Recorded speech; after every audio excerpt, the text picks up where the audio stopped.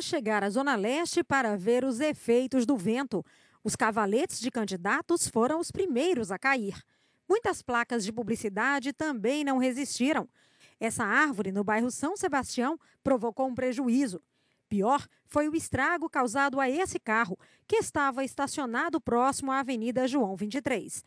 O motorista, que queria apenas aproveitar a sombra da árvore, na temperatura de 39 graus que fazia mais cedo, deve ter tomado um susto ao voltar para o carro. A cobertura do estacionamento nesse supermercado também não suportou. A loja é próximo à ladeira do Uruguai. Moradores da região tiveram muitos problemas.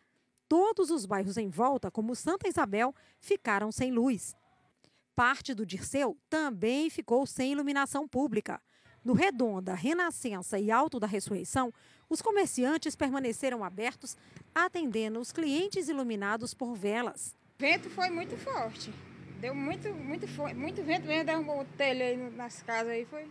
A chuva da tarde de ontem estava prevista para essa madrugada. Foi antecipada por ventos fortes que vieram da Bahia e da região centro-oeste e pegou os teresinenses no susto. Eu estava no quarto e só via zoada mesmo, muita chuva intensa mesmo. Normal, né? Falta energia quando chove, mas não sabia que tinha feito tanto estrago não. O Instituto de Meteorologia do Piauí não tem como precisar a intensidade da chuva nem a velocidade do vento, porque eles ocorreram em regiões isoladas da cidade, onde não há medidores. A previsão de chuvas para essa terça-feira é de 5%.